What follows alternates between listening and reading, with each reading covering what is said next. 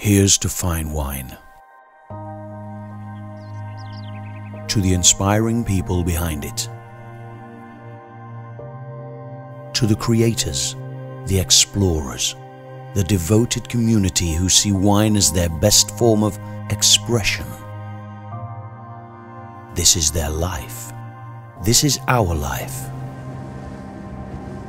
A state of mind in which we were born to believe, trust, and take pride in. A contagious attitude, a rewarding philosophy for what it gives and for what we get back. Here's to the journey it takes us on, to blending past, present, and future, to time, that all important dimension, to imagination, curiosity, and evolution, to discovery.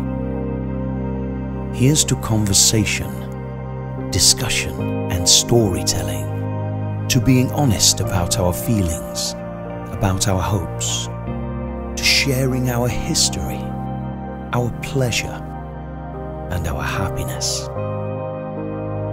Here's to the memorable experiences that only unique fine wines can deliver. Here's to more than a drink, more than a wine, more than a brand. Here's to all that, combined with a sense of time and place. Here's to authenticity. Here's to the passionate pursuit of perfection. And here's to our tribe, to those who have the sensitivity to truly appreciate it, just like art or any other form of culture. Fine wine provides a sense of being in the know. It's a measure of influence and recognition, a movement from grape to glass, and even further. Here's to uniting men, women, and nature. Here's to a kind of magic that touches all our senses and combines taste, emotion, truth.